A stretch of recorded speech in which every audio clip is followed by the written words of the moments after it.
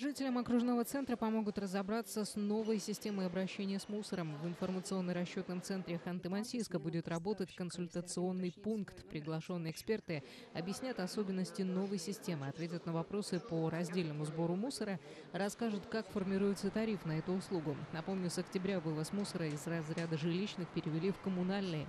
Теперь жители многоквартирников платят 140 рублей в месяц, для владельцев частных домов тариф 200 рублей. Ханты-Мансийск в числе первых первых муниципалитетов Югры перешел на новую систему обращения с ТКО.